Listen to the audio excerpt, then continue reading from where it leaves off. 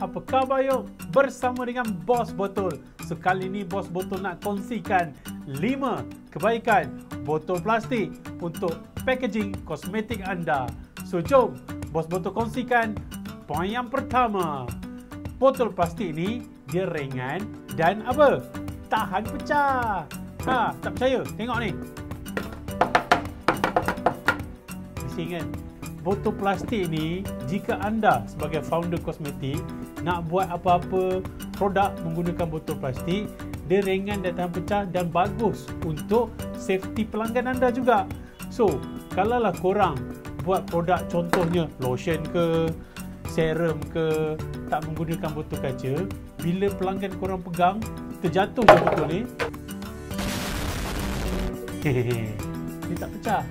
Selamat Ha, itulah kebaikan dia yang anda boleh tahu tentang botol plastik.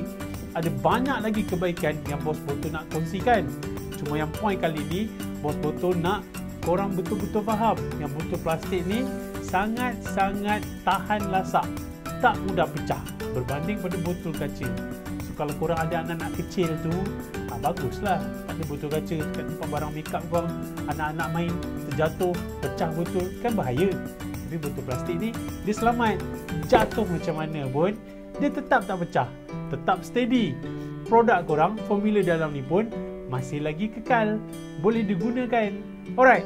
So itulah yang bos botol nak bagi tahu. Ada empat lagi point yang bos botol nak kongsikan dekat anda. So kalau nak tahu share dan komen. Bos botol akan kongsikan pada video seterusnya. Bye bye